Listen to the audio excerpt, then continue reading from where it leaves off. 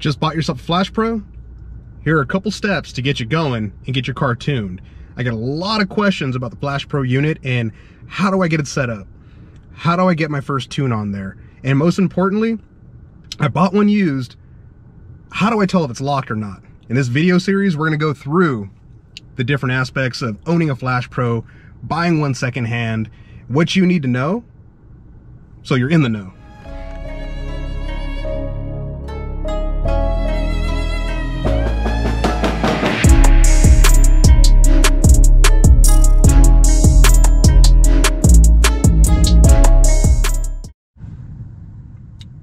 So, things you're gonna need. You're gonna need your Flash Pro.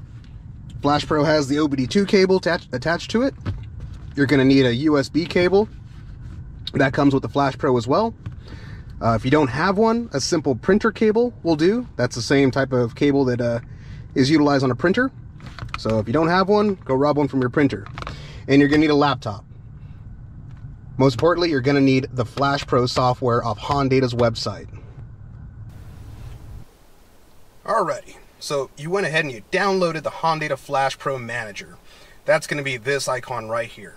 Now that you've downloaded the Flash Pro Manager, go ahead and open it. When you open it, you're going to go ahead and see a blank screen. A little bit daunting for most. This step right here is key.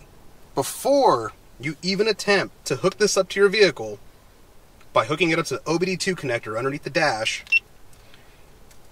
make sure to hook up the USB port on the Flash Pro unit and hook it up to the USB port on your laptop before you hook it up to the vehicle.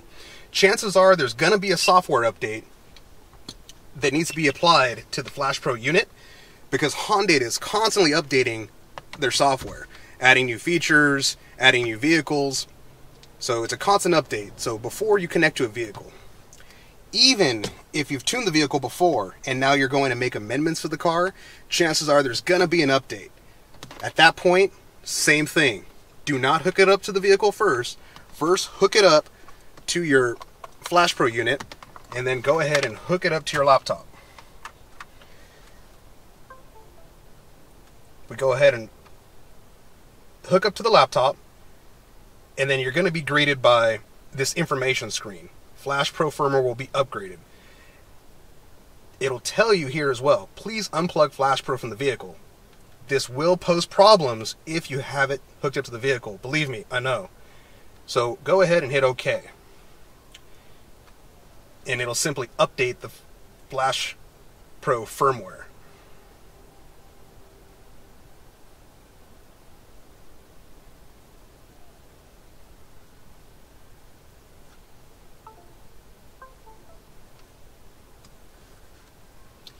If you purchase the Flash Pro used, and there's a calibration stored on the Flash Pro, it's going to ask you to go ahead and update that file that's in there to the newest version of firmware.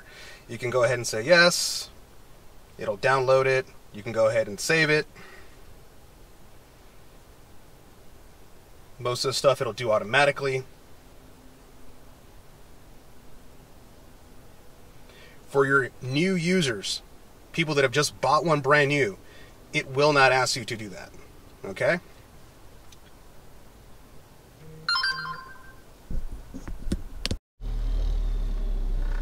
That concludes this tutorial. If you want to see anything else pertaining to the Hondata Flash Pro, things you don't understand, not so much getting into tuning, this isn't a tuning tutorial, this is utilizing your Flash Pro, uh, things you're just confused about to go ahead to get you up and running prior to your tune day, drop it in the comments. Let me know. I'll be happy to make a video, go over certain things with you. Now that I have a screenshot function that I can record the screen, show you guys data real time. If you have questions on this video, things that were not clear to you, put it in the comments. I'll go ahead and get back to you, clarify. If it requires another video, we'll do that too. Hope you found it informative. Thank you.